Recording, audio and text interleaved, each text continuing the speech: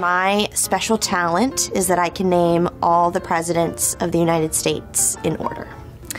Washington Adams, Jefferson Madison, Monroe Adams, Jackson Van Buren, Harrison Tyler, Polk and Taylor, Fillmore Pierce Buchanan, Lincoln Johnson, Grant, and Hayes, Garfield Arthur, Cleveland Harrison, Cleveland McKinley, Roosevelt Taft, Wilson Harding Coolidge, Hoover Roosevelt, Truman Eisenhower, Kennedy Johnson, Nixon Ford, Carter Reagan, Bush and Clinton, W. Bush Obama.